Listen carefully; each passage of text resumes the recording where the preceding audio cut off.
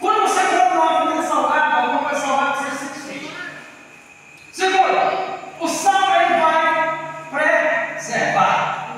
Você pode salgar, salgar uma carne, você vê que ela não vai ficar com mau cheiro, porque a vai preservar.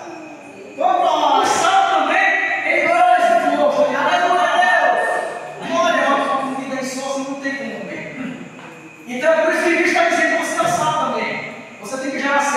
você tem que preservar e você tem que dar sabor.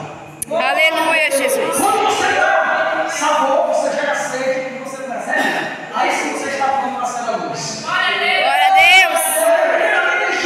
Sal E o sal que não é bem usado, utilizado, é serve para quê? Ser jogado no chão e ser pisado pelos homens. Aleluia, Jesus. Quando o sal você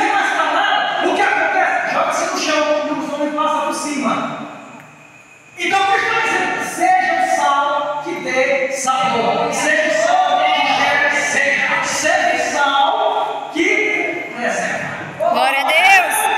Glória a Deus! A palavra. Preserva a sua vida. Preserva o que mais? A tua família. Preserva o que mais? A tua sociedade. Aleluia, Jesus.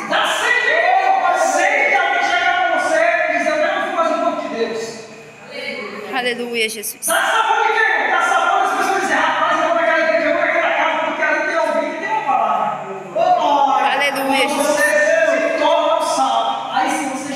ação cívica.